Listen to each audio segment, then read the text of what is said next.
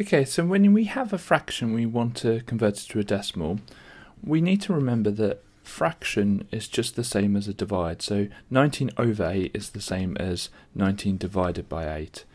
And we can use the bus stop method, or short division, and we put the 8 on the outside and the 19 inside.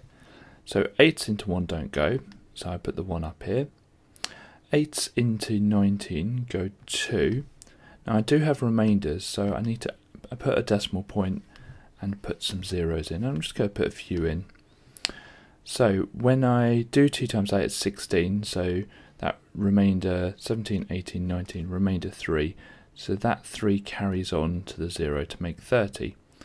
Now I know 8 times 3 is 24, and that has 6 remainders.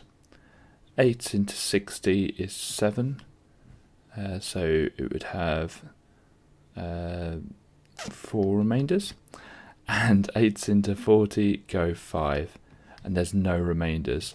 So my answer is 2.375. Now, if you have a different method of dividing, then use it as long as you get the right answer.